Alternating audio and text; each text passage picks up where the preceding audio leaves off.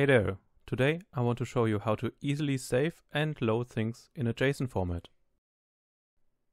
So we start with saving and loading files from the file system. For this we have the application.persistentData path.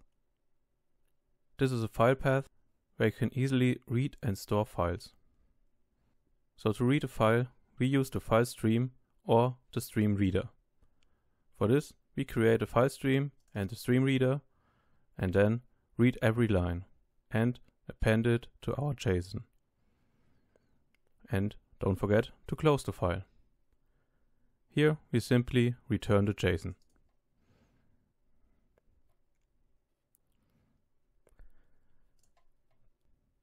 To save the file, we can use the file stream and the stream writer.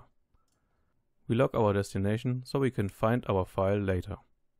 Then we write the line and of course we close the stream writer and the file stream. Now we have to define what we want to save. For this we create a value object.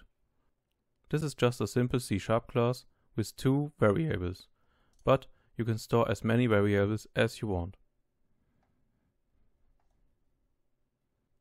So in our Rocket player, we first try to get the JSON from the file, and then try to serialize it with JSON utility. This is a utility class from Unity Engine. It will just deserialize the JSON file and assign it to the class. So if we have an object, we can handle that we already know our player. If not, we will wait for the player input and create the save object on our own, and then store the variables from the input. So if we know our player, we can deactivate the input and the save button and set the player name to the UI and the score to the UI.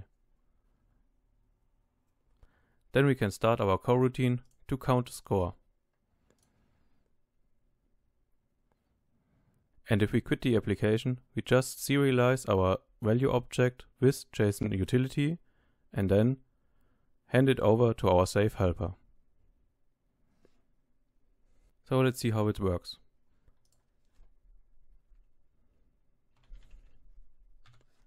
If I enter a name and press save, the game begins and the score will count up.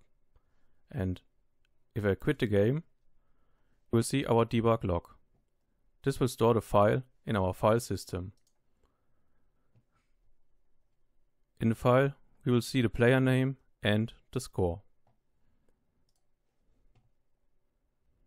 So if I restart the game, the player name will appear and the score will continue where it was. So, I hope you learned something new today. Subscribe to watch more tutorials and I'm sure I see you in the next.